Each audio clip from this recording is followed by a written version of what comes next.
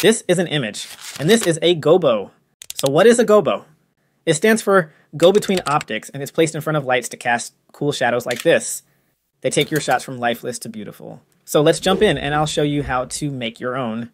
First, head to a free site like pexels.com. Search for window shadows or leaf shadows. Anything with strong shapes. Once you find one you like, save it, and then we will head to Photoshop. Create a new file, 2048 by 2048 pixels. Drop in your image and scale it to fit the square. Now add a threshold adjustment layer. Slide it left or right until you get strong black and white contrast. Too messy? Go to Filter, Blur, Gaussian Blur to soften the details. Once you're happy, save it as a PNG. Open Blender and make sure you're in cycles, and this only works in cycles. Quick tip, for faster optimized cycles rendering, check out our PolyRender Pro add-on. Now add a plane to help catch the light, then add an area light above it. Go to the light settings, tick use nodes and change the color to image texture. Open your Gobo file and bam!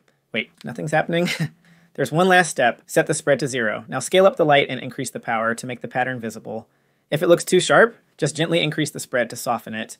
Want to make gobos even easier? Try Poly Studio Pro. With it enabled, I can hop into a new scene, right click, add Pro Area Light, tab into edit mode, and adjust the angle directly in the viewport. Then I hit S to pull up my saved gobos and press G to toggle them on and off. It's that simple, fast, flexible, and organized. So that's it, from a photo to a pro lighting setup that makes your renders pop. Have fun, peace.